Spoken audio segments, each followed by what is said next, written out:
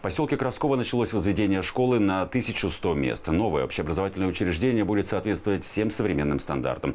Бонусом для жителей городского округа станет стадион, где смогут заниматься все желающие. На каком этапе сейчас находятся работы, выясняла наша съемочная группа.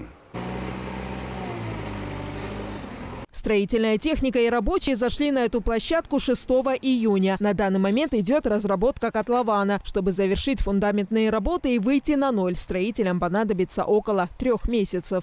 Мы планируем к октябрю закончить э, вертикальные конструкции и выйти на основной объем работ по монолитным, э, по монолитной части.